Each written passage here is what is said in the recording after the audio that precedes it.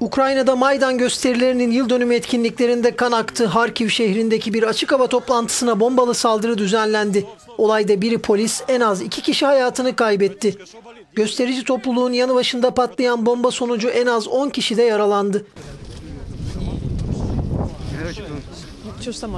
Только-только выстроилась колонна, İnsanlar bir sıra halinde duruyordu. Ölenler de en önde olanlar. движение буквально. Они прошли, ну там, не знаю, Bir где-то- patlama duyuldu zannediyorum yol tarafında asfaltın üzerindeydi. Один был взрыв, да? Да, да, точно один. И Fakat biri bir patlayıcı atıp kaçtı mı yoksa daha önceden mi oraya bırakılmıştı bunu söylemek zor. а, просто кто-то положил и сразу ушел. Трудно сказать. Saldırıyı düzenlediği gerekçesiyle sonraki saatlerde 4 şüpheli gözaltına alındı.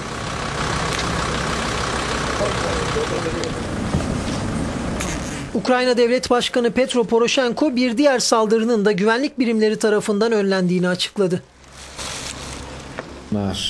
Düşmanlarımız ülkemizi istikrarsızlaştırmak istedi. Biliyorsunuz Harkiv'de bir terörist saldırı düzenlendi özel güvenlik güçlerimiz de Odessa'da bir saldırıyı önlemeyi başarmışlardı.